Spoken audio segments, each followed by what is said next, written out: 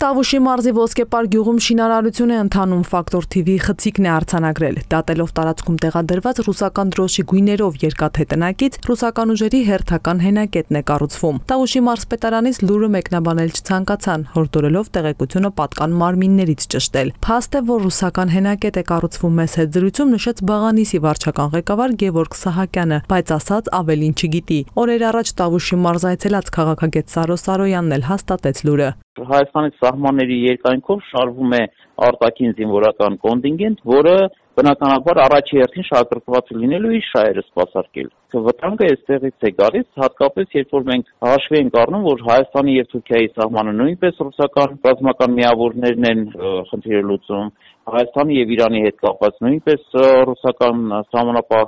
ուղեկալ գոյություն ունի եւ ինքն է արտաքին այդ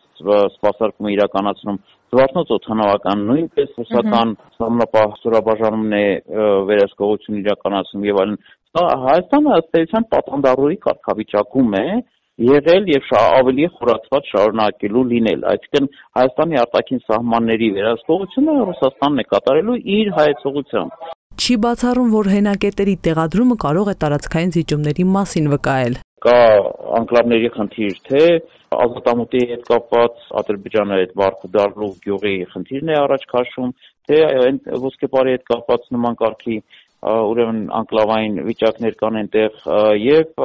ենթադրելի է որ Ռուսաստան, Ադրբեջան որոշակի պայմանավորություններ կարող են լինել, որոնք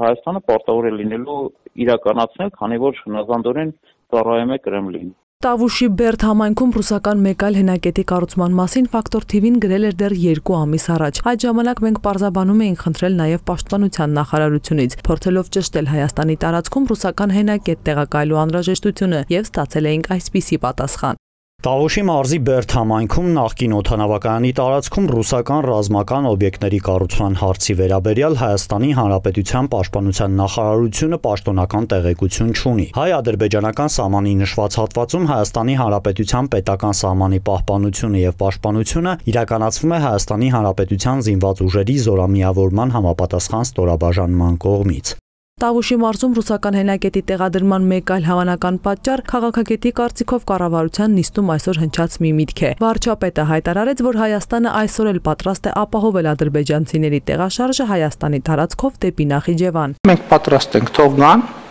հատեն, գնան Նախիջևան։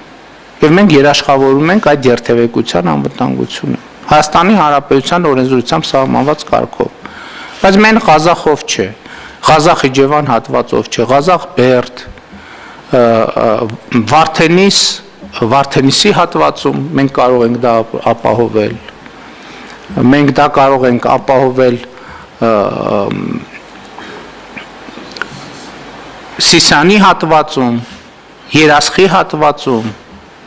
Մենք դա կարող ենք ապահովել Գորիսի հատվածում, որտեղ մենք վաղուցվանից մաքսային ծառայության հսկողություն ունենք